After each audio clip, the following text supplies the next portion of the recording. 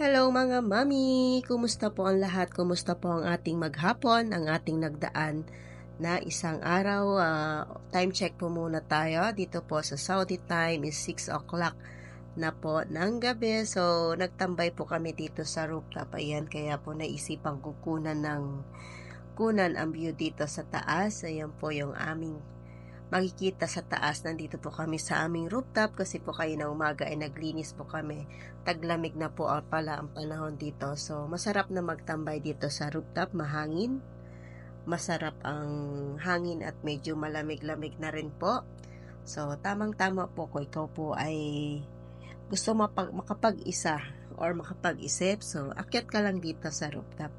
Dito magiging makakapag-isip ka ng maayos, makakahinga ka ng maayos at syempre, makakalanghap ka ng hangin.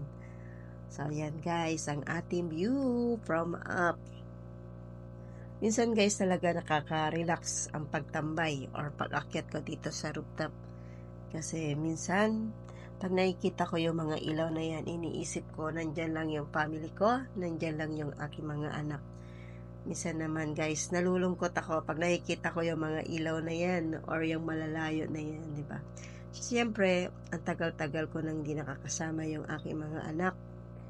Ang tagal-tagal na naming uh, ang tagal-tagal ng panahon na hindi ko sila nakikita.